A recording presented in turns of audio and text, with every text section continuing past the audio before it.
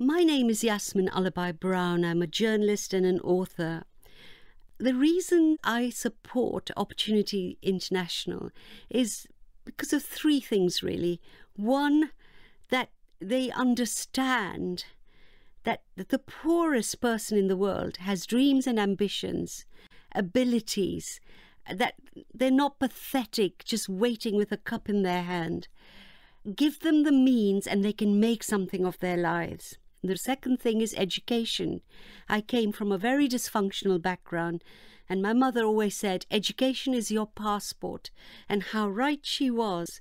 And the third reason is, as a feminist, I love it that so much of their support goes to women, especially mothers, who have the same ambitions my mother had for me to give their children a better life and give them that passport in the world.